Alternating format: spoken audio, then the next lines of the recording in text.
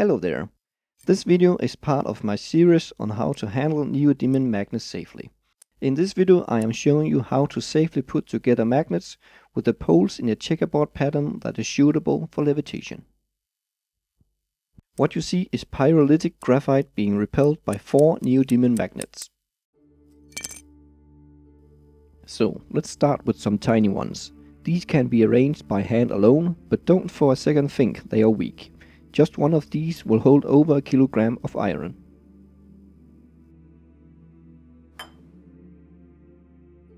The only tool I recommend for these tiny magnets is this simple locking board. The iron placed underneath locks the loose magnets in place, or at least dampens the acceleration when putting the magnets together. These thin magnets are very fragile and will easily break if just thrown together.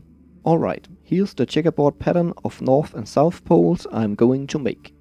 Let's go ahead and take the first magnet off the stack and place it on the locking board. The next magnet you need to turn 180 degrees before putting it on. The poles of the magnets can't face in the same direction since only opposites attract. Continue doing this and remember to turn every second magnet upside down.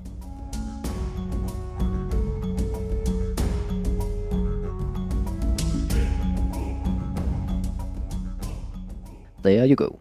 And now just some hints for restacking the magnets without breaking them.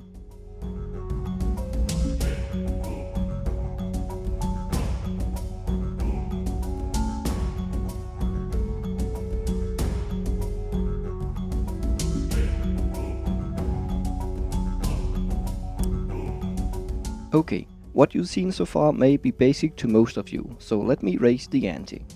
These are tricky little bastards. They are just the size where they don't look impressive like the huge one in some of my other videos, but these will draw blood if you get pinched by them. Who said nerds don't work out? I have marked the north poles on these cube magnets with dots around the edges so I always know which two surfaces are the poles. Let's build a checkerboard.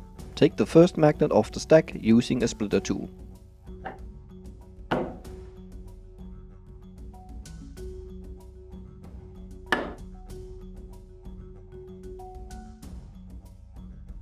Put the magnet on the locking board with one of the pole surfaces pointing upwards.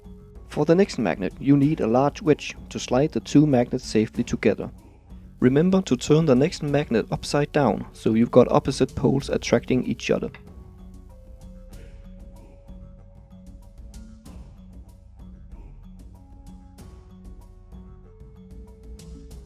I will make a 3x3 pattern, so let me just put another one on. Mind the poles.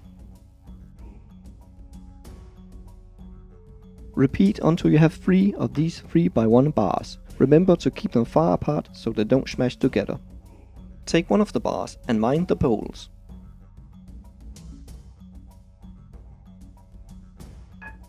Take the next bar and put it upside down on the locking board, following the rule of attraction between opposite poles.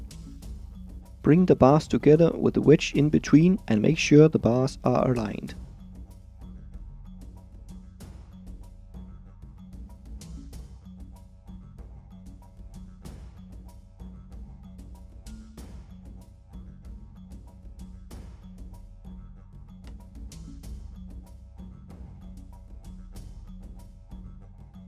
Finish the project with the last bar.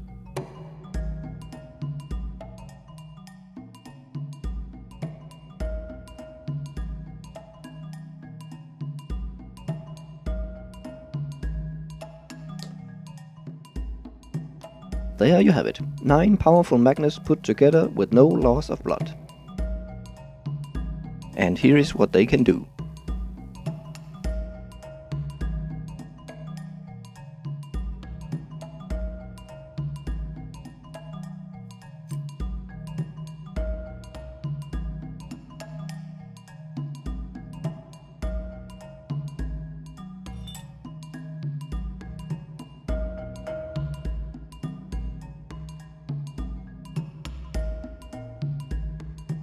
Now for some hints on how I restack them.